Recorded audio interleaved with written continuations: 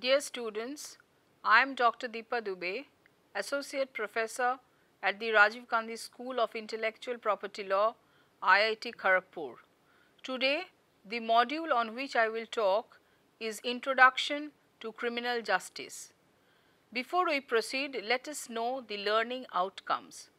To make the learners understand the aims and purposes of criminal justice, to make the students acquainted with the fundamentals of criminal justice.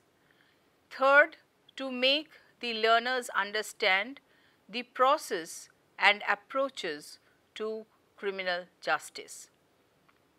An understanding of criminal justice necessitates an overview of the entire gamut of crimes, criminal law and criminal justice process and administration. It is a complex phenomena dominated by different social and political systems and the values underlying them.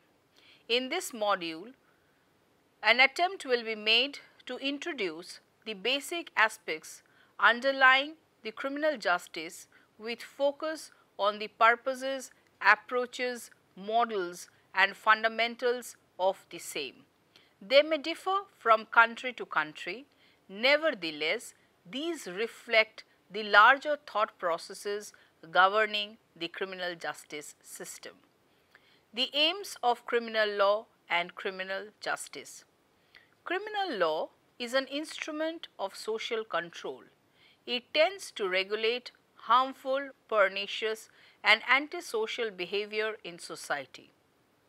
It thereby prohibits undesirable and harmful human conduct and punishes the perpetrators for the violations so committed.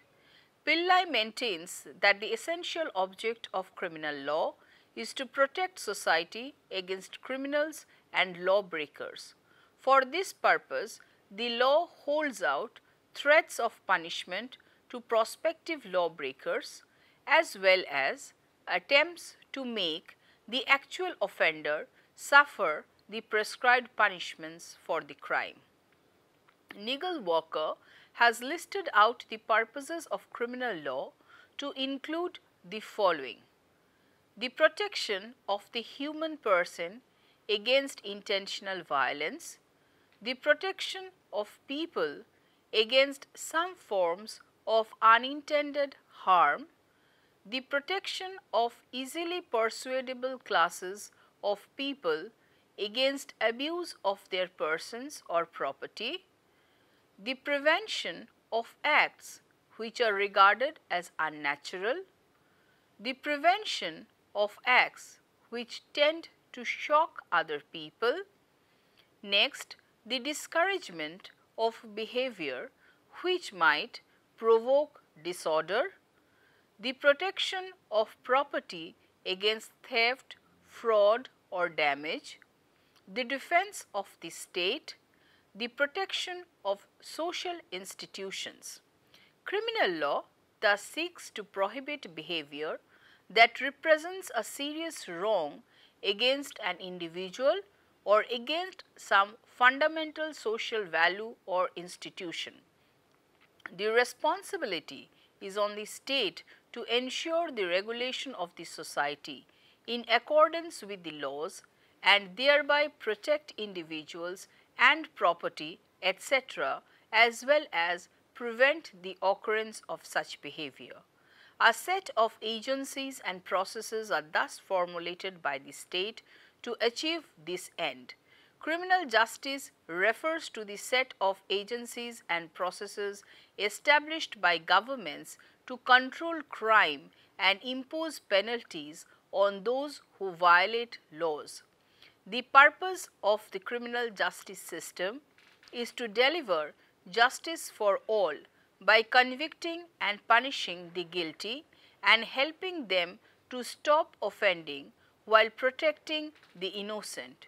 It seeks to deliver an efficient, effective, accountable and fair justice process for the public.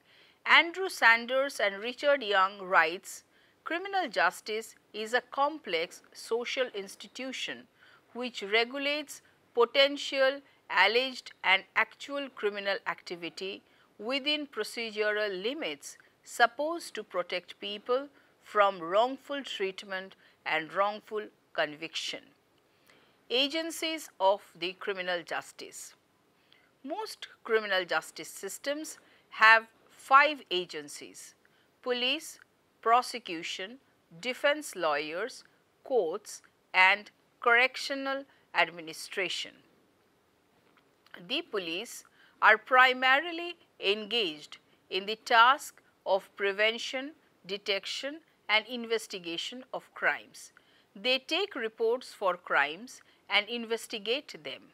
The police are empowered to arrest offenders, interrogate them, conduct search and seizures and thereby gather evidences for the crime. Prosecutors are lawyers who are appointed by the state to represent the latter in criminal cases. They review the evidences brought before them by the police and proceed with the filing of charges before the court. They present evidence in court, question witnesses and press the guilt of the accused. The defense lawyers defend the accused against the charges drawn against him by the state. They are generally hired by the accused themselves, except in exceptional cases where they are assigned by the court.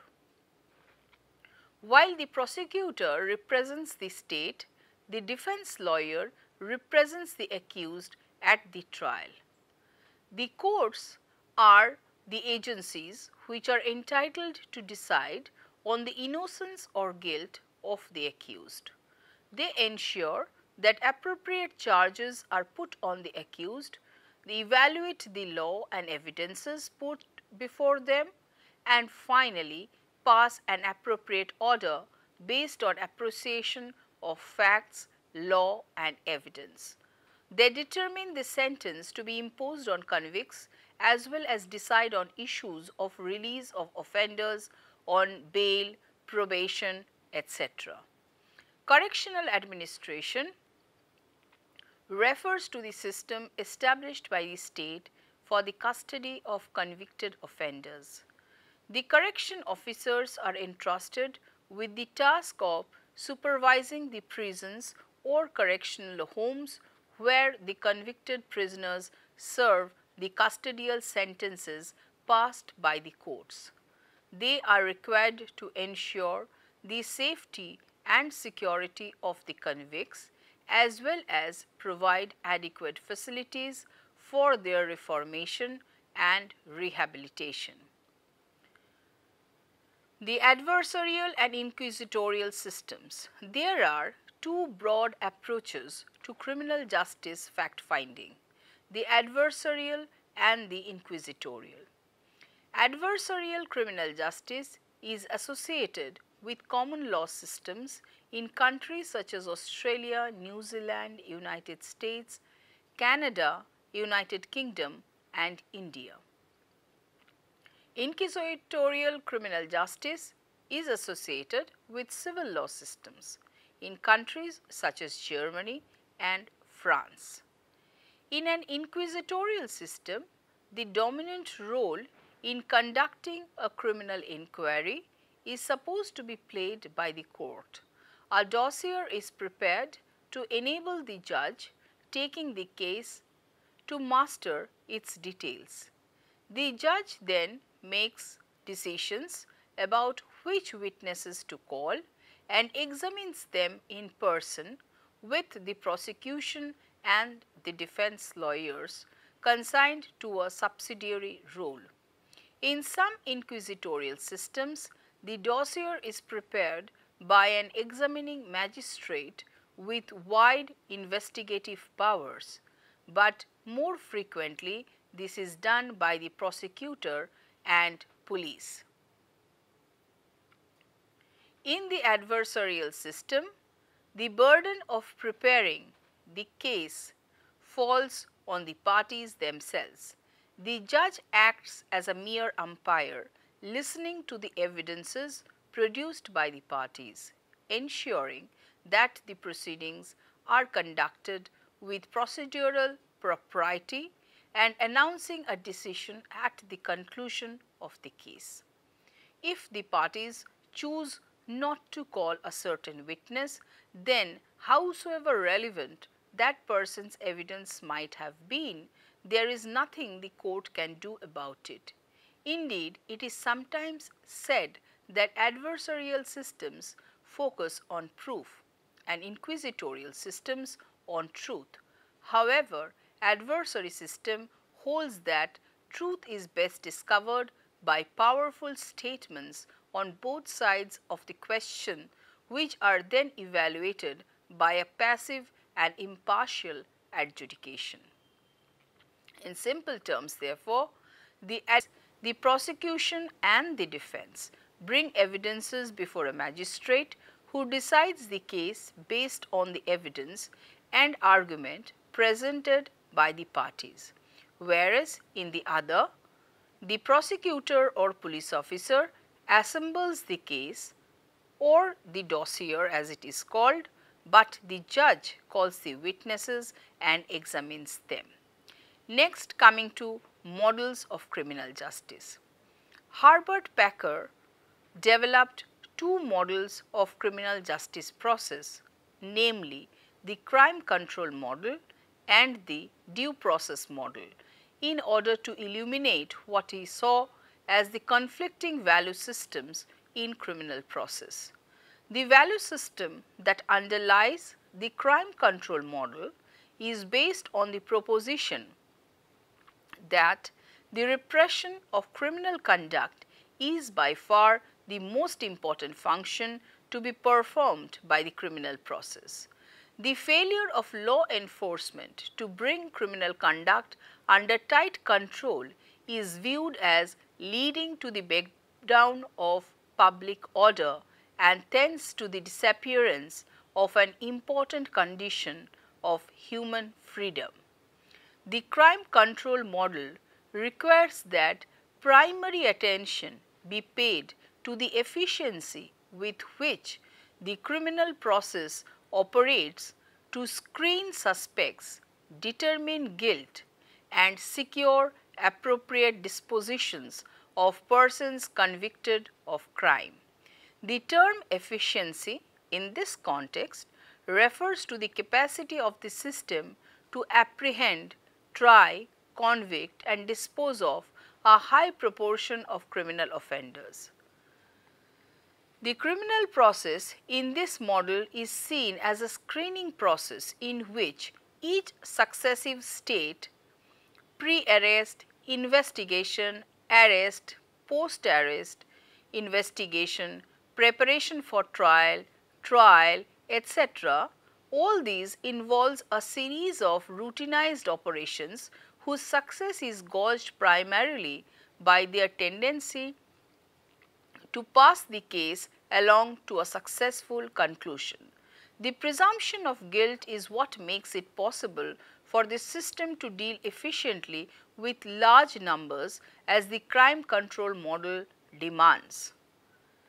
On the other, the due process model stresses on the possibility of error.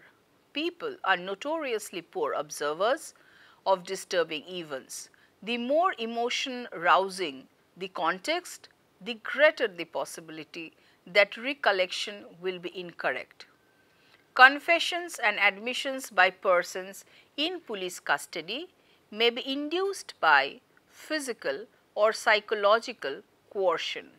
Witnesses may be animated by bias or interest.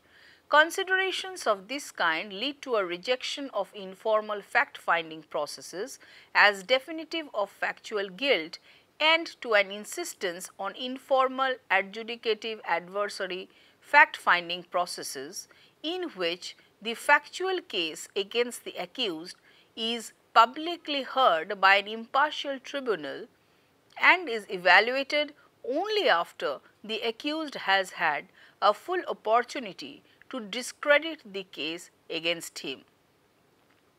Judicial officers are supposed to operate on a presumption of innocence meaning that they must ignore the presumption of guilt in their treatment of the accused. Now coming to the fundamentals of criminal justice. It is often customary to start a discussion on the fundamentals of criminal justice on the maxim nullum crimen sine lege, nullum poena sine lege, no crime without law, no punishment without law, known as the principle of legality.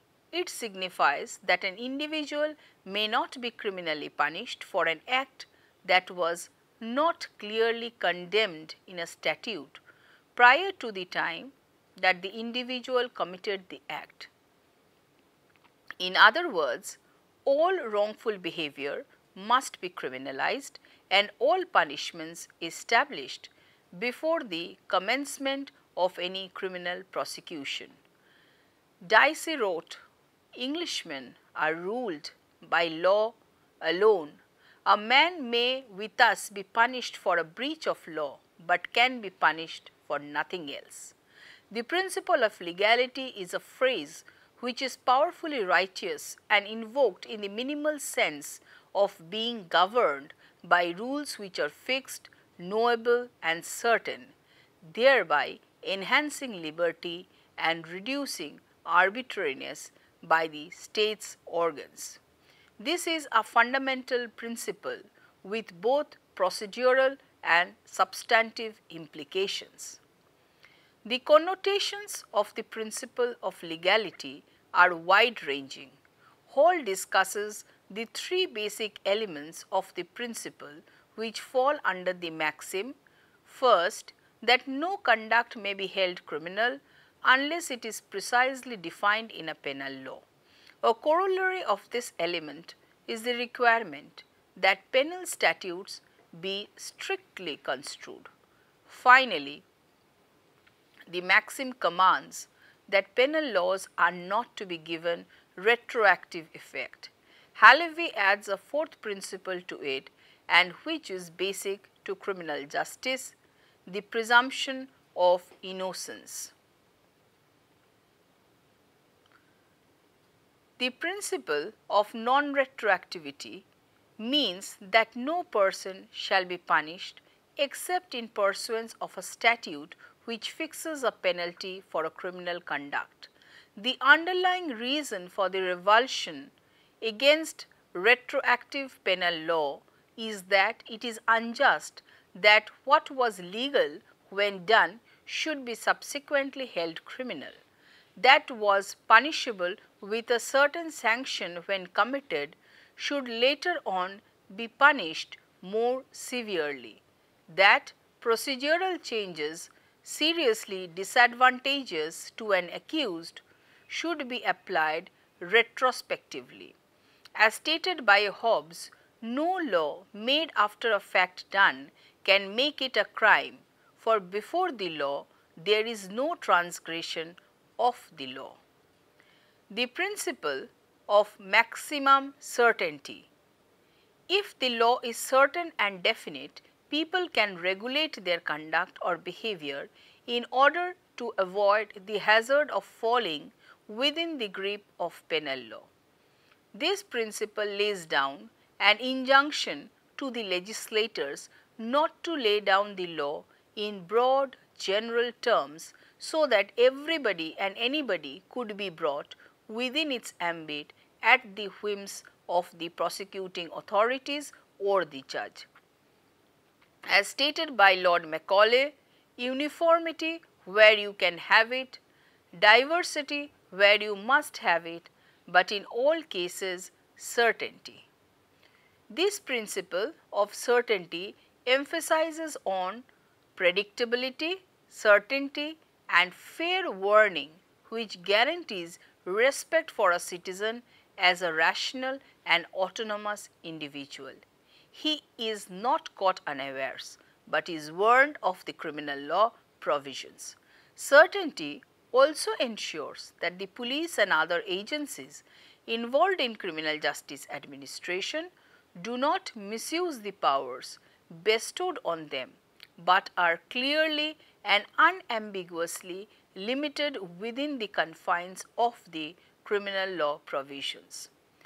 When criminal offences are drafted in vague and ambiguous ways, citizens are not only faced with unpredictable behavior by enforcement officials, they are also denied a fair opportunity to avoid punishment. Such a denial flouts, in the words of Andrew Ashworth, an incontrovertible minimum of respect for the principle of autonomy. Next, the principle of strict construction. This may be stated as a third principle under the umbrella of legality. This principle relates to the court's task of interpreting legislation. The general rule is that a penal statute should be strictly interpreted. That is, if two possible and reasonable constructions can be put upon a provision, the court must lean towards a construction which exempts the subject from penalty rather than the one which imposes a penalty. It is not competent for the court to stretch the meaning of an expression used by the legislature in order to carry out the intention of the legislature. It is for the legislature and not for the court to define a crime and provide for its punishment. Coming to the presumption of innocence, that is a fundamental principle of criminal jurisprudence which asserts that a person should be presumed innocent unless and until proved guilty. Justice Dixon laid down that the presumption of innocence is a hallowed principle lying at the very heart of criminal law. The presumption of innocence protects the fundamental liberty and human dignity of any and every person accused by the state of criminal conduct. An individual charged with a criminal offence faces grave social and personal consequences including potential loss of physical liberty, subjection to social stigma and ostracism from the community as well as other social, psychological and economic harms. In light of the gravity of these consequences, the presumption of innocence is crucial. It ensures that until the state proves an accused's guilt beyond all reasonable doubt, he or she is innocent. This is essential in a society committed to fairness and social justice. The presumption of innocence confirms our faith in humankind. It reflects our belief that individuals are decent and law abiding members of the community until it is proved otherwise. The rule as it stands enumerates that a person who is charged must be proved guilty. The accused stands innocent until he is proved guilty and his proof of guilt must displace all reasonable doubt. In saying that the accused person shall be proved guilty, it says also that he shall not be presumed guilty, that he shall be convicted only upon legal evidence, not tried upon prejudice, that he shall not be made the victim of circumstances or of suspicion which surround him. He shall be convicted not upon any mere presumption, any taking matters for granted on the strength of suspicion, but he shall be proved guilty by legal evidence and by legal evidence which is clear and strong that is clear beyond reasonable doubt. Apart from these, there are certain other basic considerations which govern the working of the criminal justice process. These include the rule against double jeopardy, the right against self-incrimination and fair trial. Double jeopardy means that a man cannot be put twice in jeopardy for the same offence.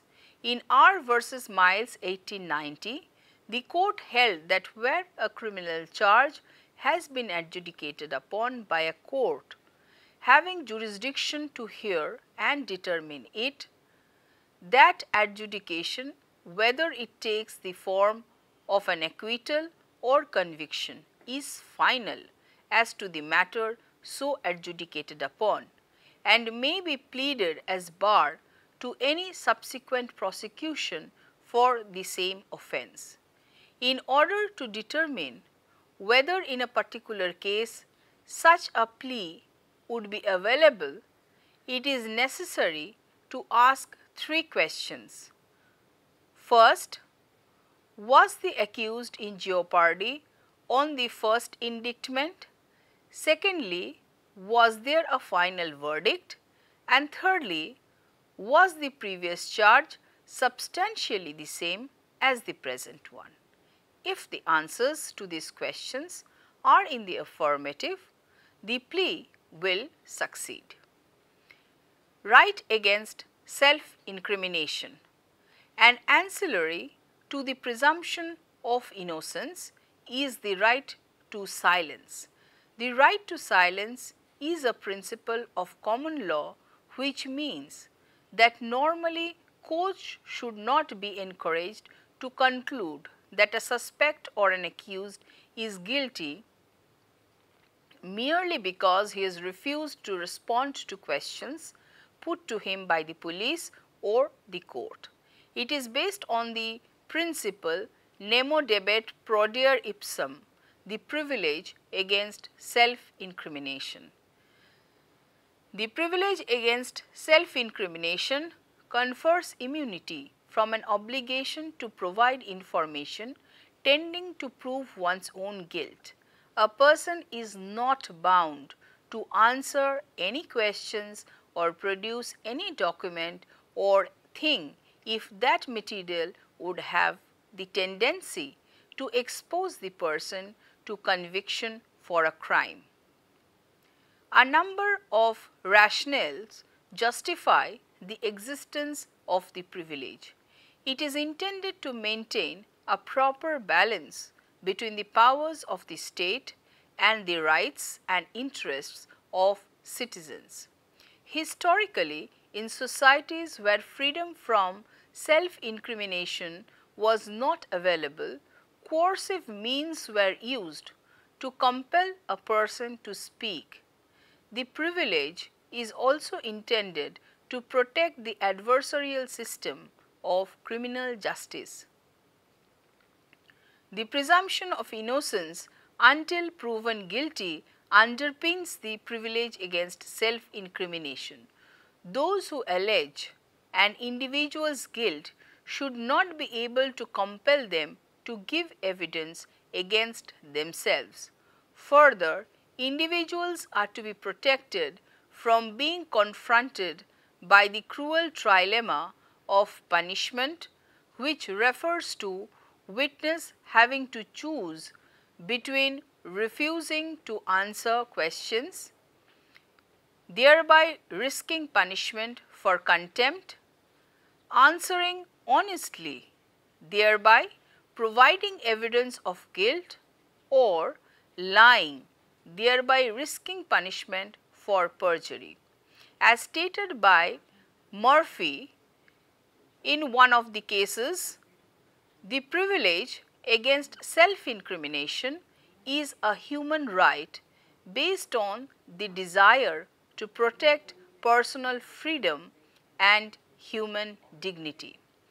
Lastly, coming to the concept of fair trial, one principal object of criminal law is to protect society by punishing the offenders.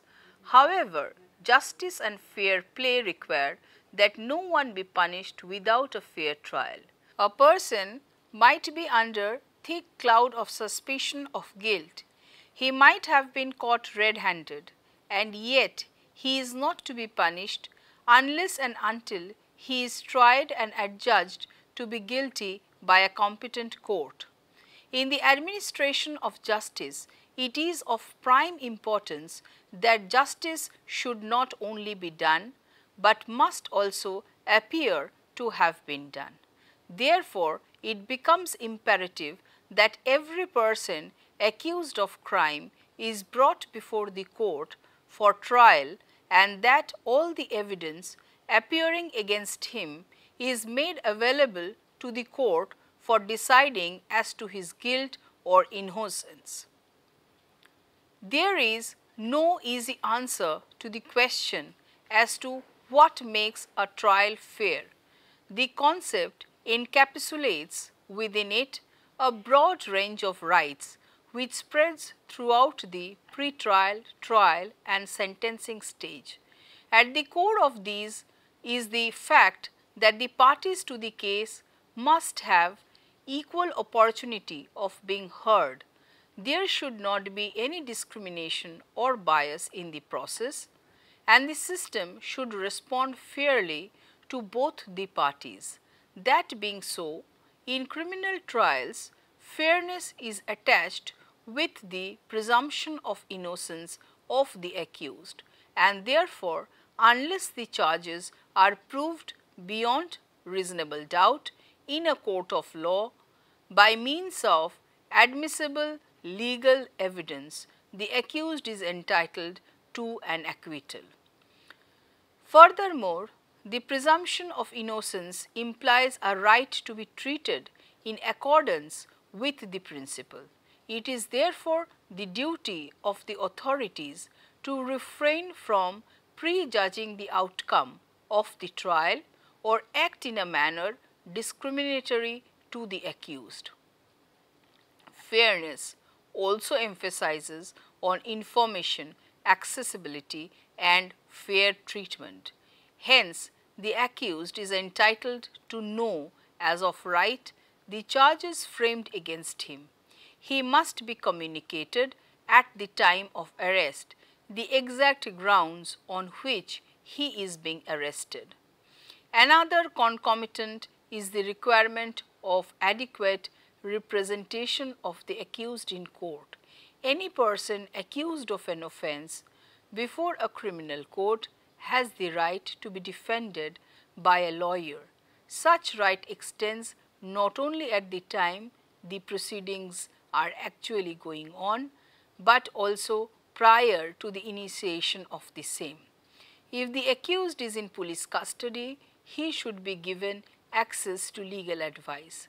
Thirdly, even in the course of a criminal investigation and trial, the accused continues to enjoy the fundamental rights and freedoms albeit with some limitations. The accused has to be treated with dignity and respect. No inhuman treatment can be meted out to him in course of the proceedings. It also signifies that persons arrested, detained or otherwise in the hands of the authorities have the right to be treated in a humane manner and without being subjected to any psychological or physical violence, duress or intimidation. In India, each of these basic principles have been incorporated in the criminal justice system of the country. Thus, Article 20 of the Indian Constitution provides for non-retrospectivity, double jeopardy and self-incrimination. An accused has a constitutional right to challenge any law or provision thereof which violates any of the above. The provisions of the Code of Criminal Procedure 1973, the Indian Evidence Act 1872, both the legislations incorporate various provisions which provide the basis of fair trial, investigation as well as rules of evidence in criminal trials. Thus, an exploration of criminal justice forays into myriad terrains of crime, criminal law, liability, etc. It requires a deep understanding of the values governing the system and the working of the agencies. Criminal justice also requires an appreciation of the fundamental principles.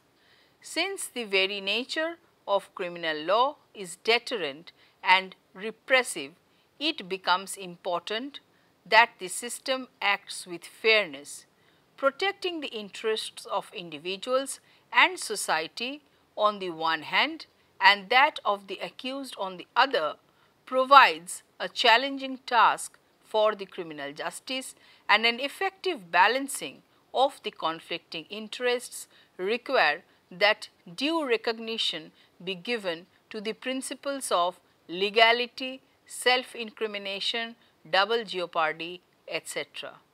Thank you.